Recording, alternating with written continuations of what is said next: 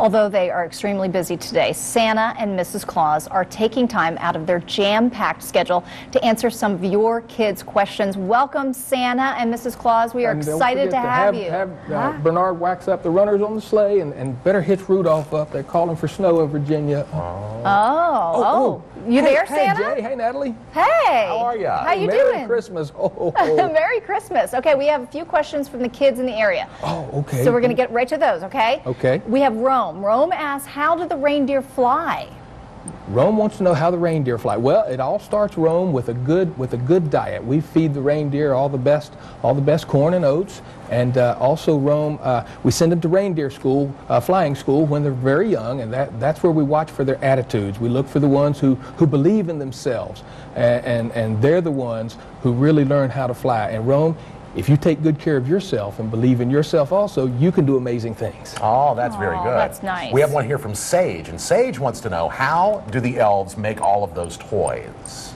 How do the elves make all of the toys? Well, Sage, the, uh, the elves, they're just like anyone else who works. Uh, some of them are better at, at one thing than they are another. I have uh, one who, who's re- real good at making dolls, so that's what she gets to do. And, and another little elf likes to make uh, the trucks, and so that's what he gets to do.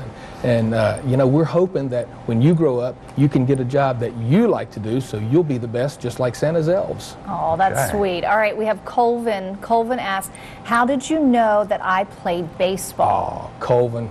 Uh, Colvin, I want you to know that Santa has been watching you uh, from the very first time you tried on that leather glove. You know what? Sometimes I even get to watch you play, and you know how proud I am when you do your best, Colvin. You remember that, buddy. Oh, that's, sweet. And Caitlin wants to know how do you know things about me, and how do you know my name? Caitlin. Oh, Caitlin. Well, how do I know things about you and how do I know your name? Caitlin, let's talk about your name for just a second.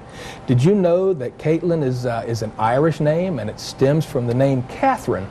Uh, you know, if you spell uh, Caitlin uh, uh, with a C, it means pure, and if you spell it with a K, it means little darling. hey, Caitlin, how do I know I was there the day your mama looked down when you were born and said, This little darling's name will be Caitlin.